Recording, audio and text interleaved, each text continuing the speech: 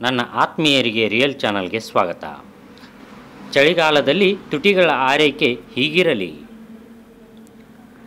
ಚಳಿಗಾಲದಲ್ಲಿ ಮೈ ಒಡೆಯುವುದು ಸಾಮಾನ್ಯ. ಕೆಲವರ ಚರ್ಮ ಬಿರುಕು ಬಿಡಲು ಕೂಡ ಶುರುವಾಗುತ್ತದೆ. ಕೈಕಾಲುಗಳು ತೇವಾಂಶವನ್ನು ಕಳೆದುಕೊಂಡು ಒಣಗಿ ಹೋಗಿರುತ್ತವೆ. ತುರಿಕೆ ಉರಿ ಕೂಡ ಕಾಣಿಸಿಕೊಳ್ಳುತ್ತದೆ. ಚಳಿಗಾಲದಲ್ಲಿ ತುಟಿಯ ಸೌಂದರ್ಯ ಕಡಿಮೆಯಾಗುತ್ತದೆ. ಕೆಲವರಿಗೆ ಒಣ ತುಟಿಯಿಂದ ರಕ್ತ ಕೂಡ ಬರುವುದು. ಹೀಗಾಗಿ ಚಳಿಗಾಲದಲ್ಲಿ ತುಟಿಗಳ ಆರೈಕೆ ಬಹಳ ಮುಖ್ಯವಾಗಿದೆ. ಚಳಿಗಾಲದಲ್ಲಿ ಒಣಹವೆಯಿಂದಾಗಿ ತುಟಿ ಒಡೆಯುತ್ತದೆ. ಚಳಿಗಾಲದಲ್ಲಿ ಚರ್ಮಕ್ಕೆ ತೇವಾಂಶದ ಅಗತ್ಯ ಇರುತ್ತದೆ.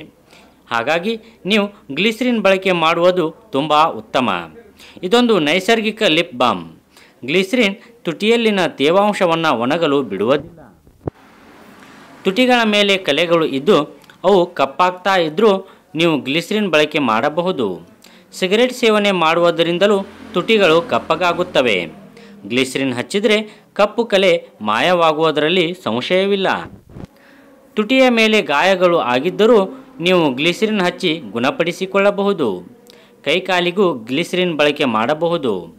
ತೇವಾಂಶವನ್ನು ಹಿಡಿದಿಡುವ ಶಕ್ತಿ ಗ್ಲಿಸರಿನ್ಗೆ ಇದೆ.